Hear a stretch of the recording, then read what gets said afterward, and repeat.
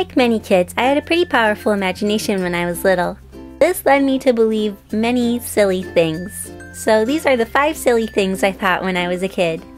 I thought jelly came from jellyfish. Now I thought this one until I was like 8 years old. Mostly because of SpongeBob SquarePants. Thanks a lot, SpongeBob.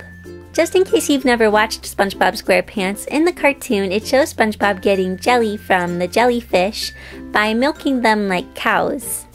So that made me think that jelly came from jellyfish.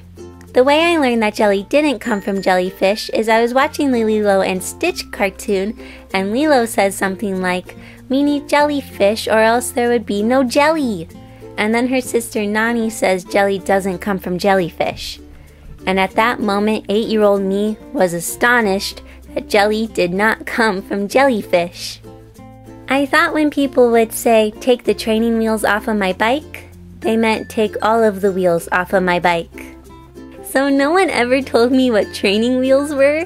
So when my mom would ask, Becca, do you want to take the training wheels off of your bike? I would just say no, thinking to myself, why would I want to take the wheels off of my bike?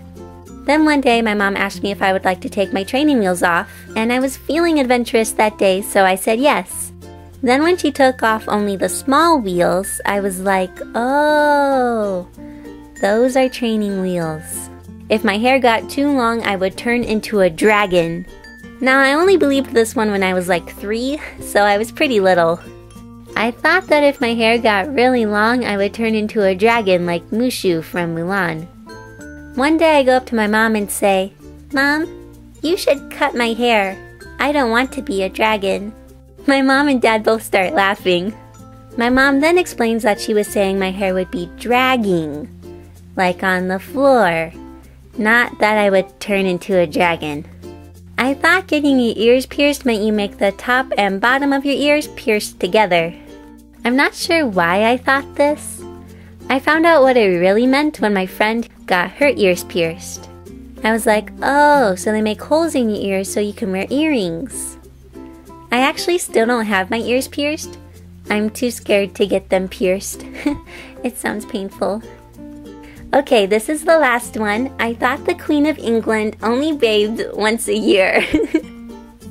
I know this one is really random. You see, I had this book that had random facts in it, and it was talking about soap and how it used to be really expensive.